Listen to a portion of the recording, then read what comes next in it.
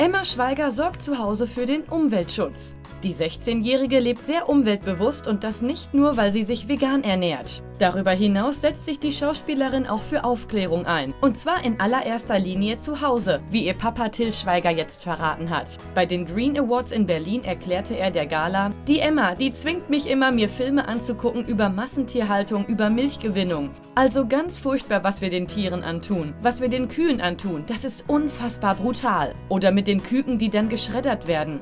Ich will das dann nie sehen, aber sie zwingt mich dann. Aber die filmischen Lehrstunden von Tills Tochter zeigen Wirkung. Denn wie der Honig im Kopfstar weiter verriet, versucht die ganze Familie inzwischen weitestgehend auf Plastik zu verzichten. Egal ob Plastiktüten oder Plastikflaschen. Einzig das Fliegen von A nach B können die Schweigers nur schwer einschränken. Denn immerhin ist die Familie auf Deutschland und die USA aufgeteilt. Zudem gibt es ein Haus auf Mallorca und natürlich arbeiten Till und seine Kinder als Schauspieler und müssen stets schnell überall hinkommen. Aber immerhin die ersten Schritte sind getan und alles dank der jungen, aber sehr umweltbewussten Emma. Respekt!